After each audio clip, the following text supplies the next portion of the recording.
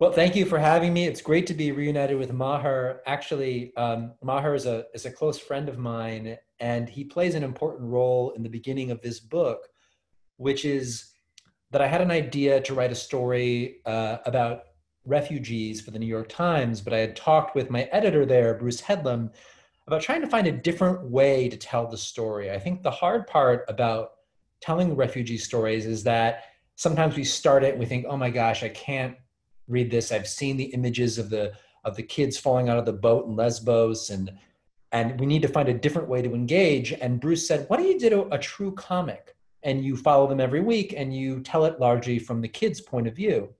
So I said, this sounds like a great idea, but I don't speak Arabic. Uh, and then I had the very good fortune of finding Maher. And he said, I'll go with you, Jake. I'll go down with you the night this family that you want to meet is supposed to arrive, and I'll be your translator. Well, he was more than just linguistics. You saw his positivity and you saw his warmth, and he really helped me engage with the Aldabaan family the night that they had arrived. They were from Syria.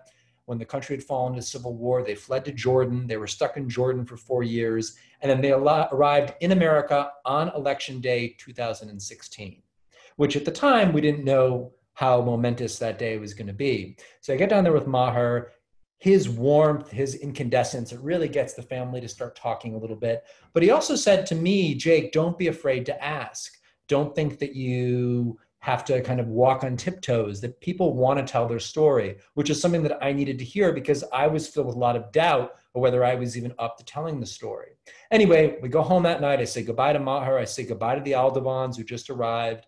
And at around two in the morning, I woke up and checked the news and I saw that uh, Trump had won the election. And my first thought was of this family. I thought, oh my gosh, they've landed in one country and they've effectively woken up the next morning in another country. And I knew that this story would have a greater resonance because, in effect, there's the small narrative of this family, but it also tells this kind of bigger tale, especially because uh, the rest of the family the Aldabaan family was stuck back in Jordan. And when the administrations changed, there was no hope that the family could come.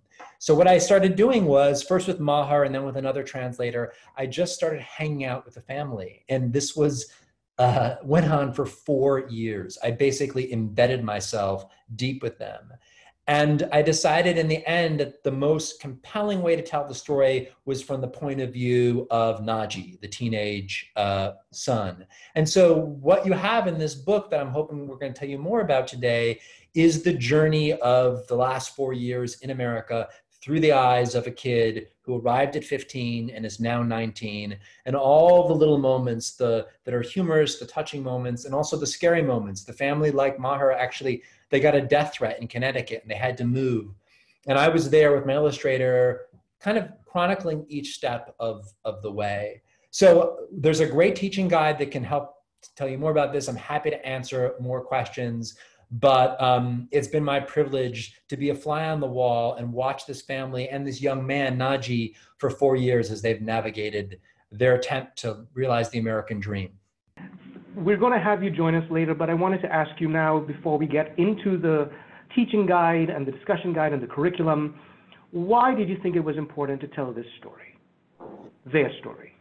Yeah, I mean, a few things. One was that I had watched my kids, I have two boys, ages 11 and 13. I had watched them read John Lewis's March and devour it and uh, become avid students of the civil rights movement. And I thought, wow, is there a way that we could engage them in the refugee crisis? 50 million people have been displaced. It's the largest displacement since the end of World War II.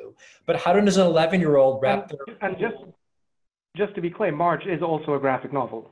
Exactly. Sorry, I should be clear. March is a graphic novel. It's an amazing graphic novel. It won the National Book Award. And I think that with the use of, of, of this kind of comic imagery, it made it accessible because my kids, if I said to my kids, hey, read about the civil rights movement, they'd be like, maybe later, dad. But the comic drew them in. And it was my hope that this would be true also for, for our story. And that combined with the fact that the main character was going to be 15 and dealing with you know his locker and school. And so that was a point of entry. It's like how do you get kids to buy in early? And the comic and the 15 year old protagonist for me that was the answer.